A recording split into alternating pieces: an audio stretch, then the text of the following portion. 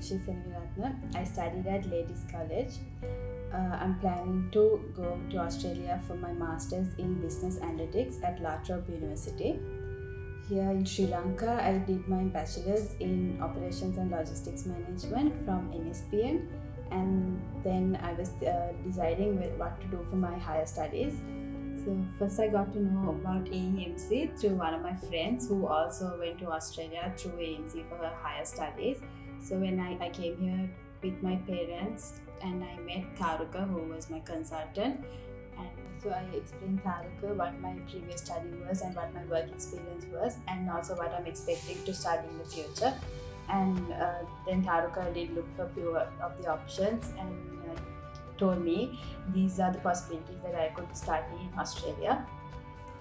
So, uh, as I mentioned before, after going through all the details that Tharuka provided to me, I decided to go ahead with uh, Master of Business Analytics at La Trobe because it is one of the demanding fields, and also since I have the supply chain background, I wanted to get the analytical knowledge.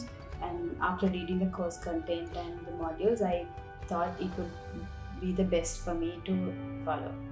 So I obtained my visa and I'll be starting off my course next week. I'm really excited to see what it brings in the future.